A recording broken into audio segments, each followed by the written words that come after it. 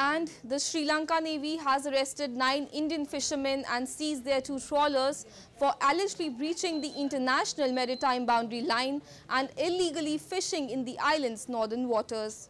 The Navy in a statement said that the Indian fishermen will be handed over to the Mailadi Fisheries Inspector for onward legal proceedings. This is the second such incident this month. India and Sri Lanka share an expansive oceanic border without any perceptible demarcation.